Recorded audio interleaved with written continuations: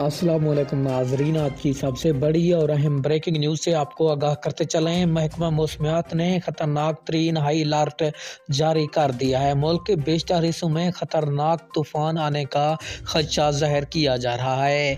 कमज़ोर मगरबी हवाओं का सिलसिला कश्मीर और उससे मुलहका इलाकों पर मौजूद है। आपको मुकम्मल तफसील के साथ आगाह करते हैं। इस छोटी सी वीडियो में, लेकिन उससे पहले वीडियो को लाइक और चैनल को सब्सक्राइब ज़रूर कर दें। ताकि आपको हमारी नई वीडियो का नोटिफिकेशन सबसे पहले मिलता रहे।